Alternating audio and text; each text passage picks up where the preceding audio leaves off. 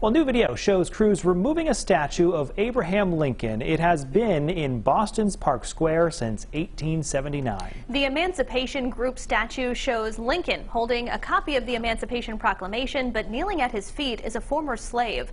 The goal of the statue was to memorialize the emancipation of slaves, but it became a source of controversy earlier this year when opponents argued it's demeaning to black people.